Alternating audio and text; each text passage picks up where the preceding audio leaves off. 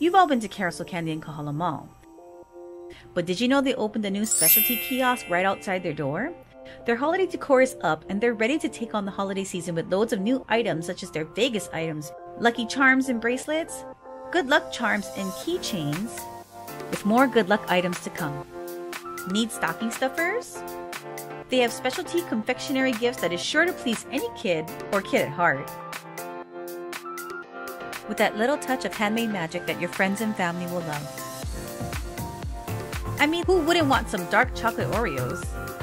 Want to taste the candies of your youth? Check out that nostalgic candy mix. Whatever your sugar needs are, make Carousel Candyland in Kahala Mall your next destination for some sweeties.